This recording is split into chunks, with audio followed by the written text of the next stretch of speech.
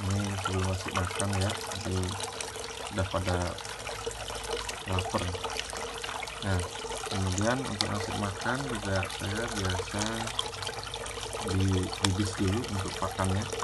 Bibis supaya tidak membuat perut ikan kembung atau biasanya membengkak pada saat eh, ikan kekenyangan nah kemudian untuk ngasih makan jadi mungkin sama dengan teman-teman yang lain hanya dua kali dalam sehari. Kemudian kita lihat saja untuk perkembangan selama 30 hari. Sudah siap panen Alhamdulillah. Bismillahirrahmanirrahim. Makan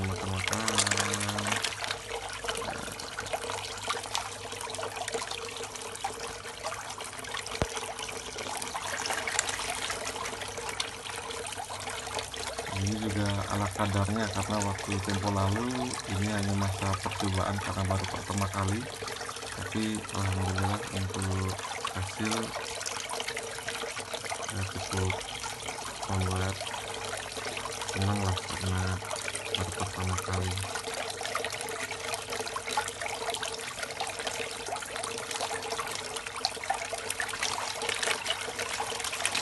Di 30 hari udah siap panen teman-teman alhamdulillah ini udah satu ukuran